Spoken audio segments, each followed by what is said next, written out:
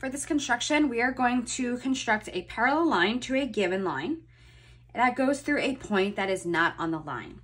So the main note we're going to use here is that parallel lines that are cut by a transversal, they form congruent corresponding angles. So that means we are going to do the congruent angle construction. But what we need to do first is we need to draw a transversal in here. So use a straight edge and draw a line that goes through that initial point and that is your transversal.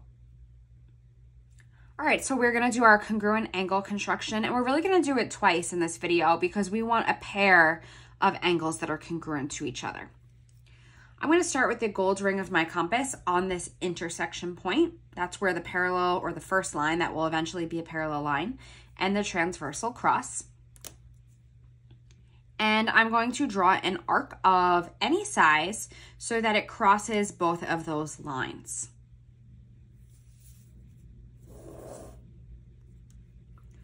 All right, once we have that, you could jot down off to the side what measurement you used or just remember it, or we could always go back and line it up later.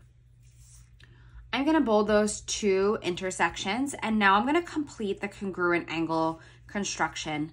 So I'm gonna put the gold ring of my compass on one point and I'm going to try and find a measurement on my compass that best lines up with the other point, okay? So you might have to move around and play with it. And once you feel like that you have one, okay, so I'm going back and forth between a couple here, but I think I'm gonna go with this one. You're going to draw an arc going through. Now we're gonna repeat this process.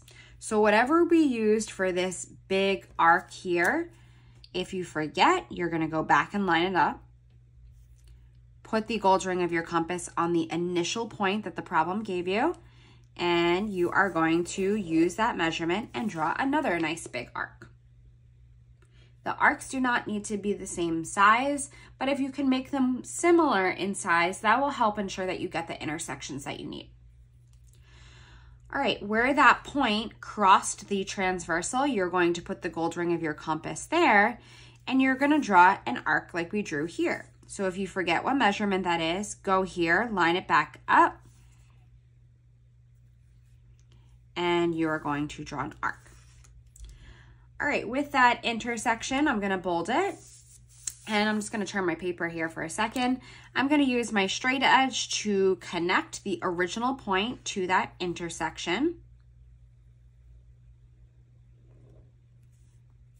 And now I have my parallel line that goes through that initial point that the problem gave us.